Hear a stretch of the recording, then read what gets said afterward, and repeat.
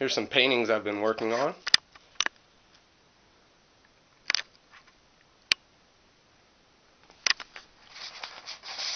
There's one.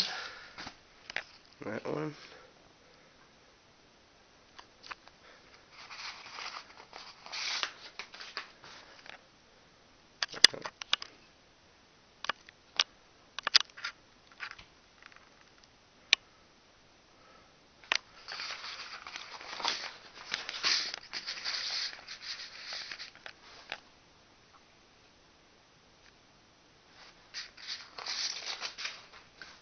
This one's really cool. I think this is the best thing I ever painted. That bullet there. It's kind of brassy to me. But what's really cool, I don't know who to put in the picture there. I thought Bush is too obvious. I thought about Oprah. Maybe Obama. Who knows?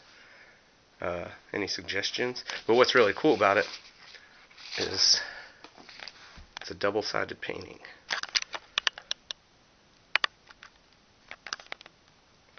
A little jungle scene.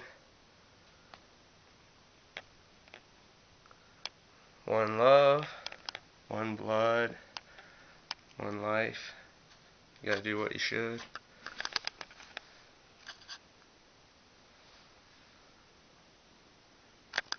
Alright, that's all.